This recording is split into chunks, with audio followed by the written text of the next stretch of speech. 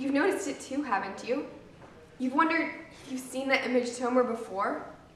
Eustace says it's hideous, but I think it looks very Narnia-like. Sometimes my mind imagines that the waves in the painting are moving and that that little ship is sailing closer and closer.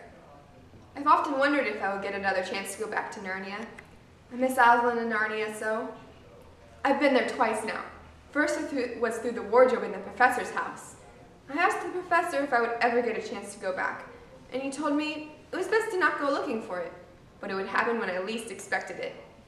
And sure enough, there we were, sitting in the London train station waiting to go back to school, and we were drawn back into Narnia. I met Prince Caspian and helped him take back the thrones from the Telmarines and his evil uncle Miraz. Such a splendid victory! I wish we could have stayed back in Narnia and ruled with Caspian, but Aslan said it was time for us to return home. And here I am again, back in London, staying with my obnoxious cousin Eustace during the war. At least to get my own room. Poor Edmund has to share with our cousin.